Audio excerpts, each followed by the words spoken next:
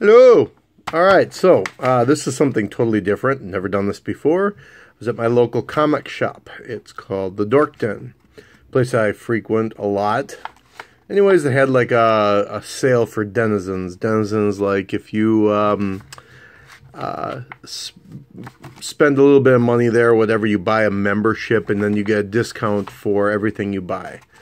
Um, which is you know, a nice little deal. It's 15% off, and after a while it adds up, and you actually make more off of it than uh, than you would uh, not buying it. So, anyways, uh, I saw this there. I was like, well, what the heck? And maybe I'll even do a little video of it now. You can see it is still sealed. It's still sealed. I have no clue what's in it.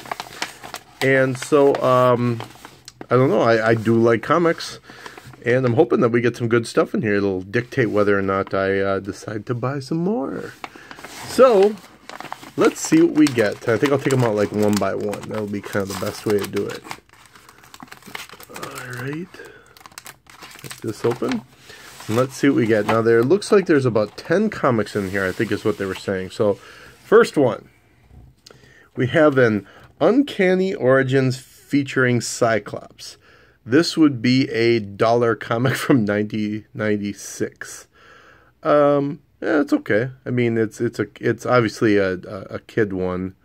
Um, I'm not much of a Marvel fan. I'm more. I mean, I like Marvel. Don't get me wrong, but uh, you know, given the choice, I do prefer DC comics in general. The Marvel movies I prefer overall because they're great, but I prefer the comics from DC. So First comic is uh, Cyclops. And you can see it's a dollar comic.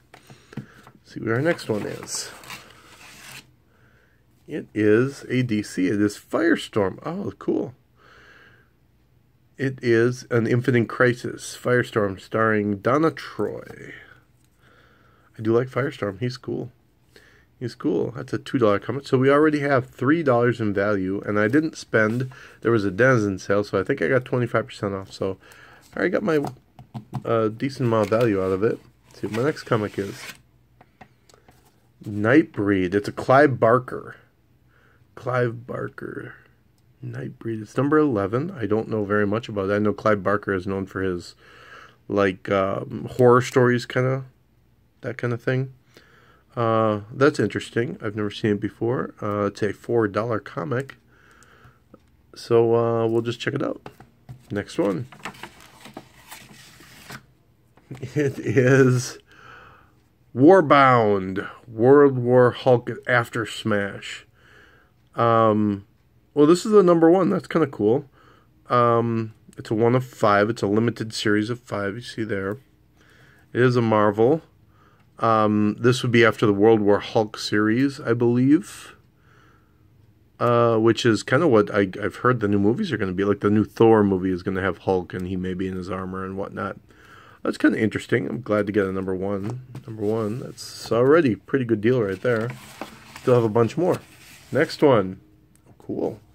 What is this? The Wit and Wisdom of Zen. Now this one's kind of beat up a little bit, but uh, it looks interesting. I mean, something like I, I, work with kids, so what I'll probably do is this one looks like a good one to kind of bring in and uh, let the kids play around with. Zenism. Let's. What do you say we just crack this one open and see what the heck it is? The case is just mangled, so we're just gonna throw that out anyways, probably. Let's see what this is. Zen. Huh. The wit and wisdom of Zen. Here's a piece of advice, free advice. Shut your mouth and open your mind. Well, this is interesting. Weird comic. It's not even a comic. It's like strange. I've never seen anything like that before. All right, well, that goes right there. That goes in the very strange pile. Time Spirits. I have no clue what this one is. Time Spirits. Strange. It is an epic comic. Marvel. Marvel epic comic. It was a dollar. Oh, it's interesting. I've never seen anything before like that. Next one. Tomb Raider.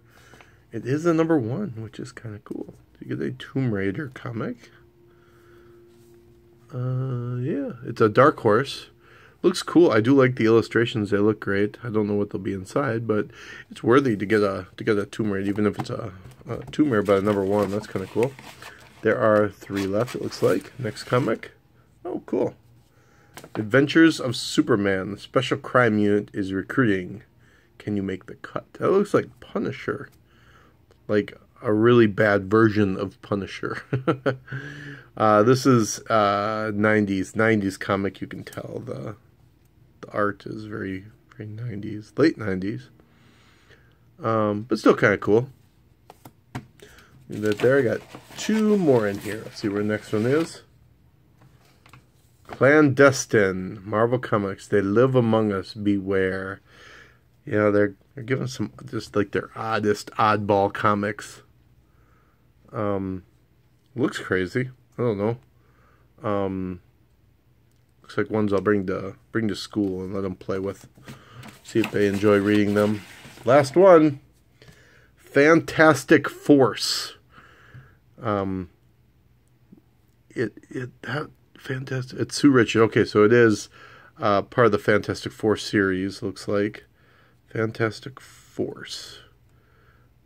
That's what that is. All right. So how many comics did I get total?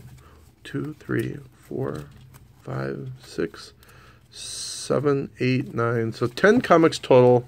Um, kind of a, a, an odd mis mismatch of weird comics. Um, I, I got a couple number ones, which is kind of cool.